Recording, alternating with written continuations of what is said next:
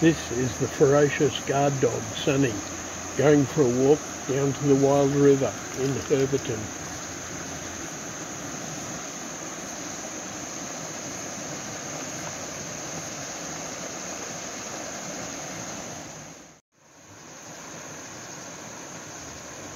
Where Sunny is standing, the water was over his ankles a couple of days previously.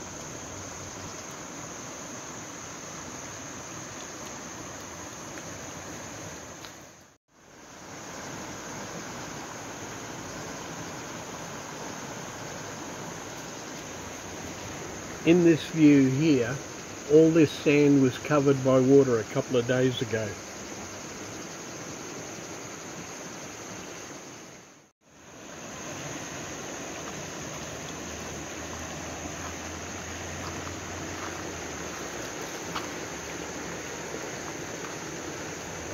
The normal width of the river is it only to where you can see the tree trunks in the middle of this scene.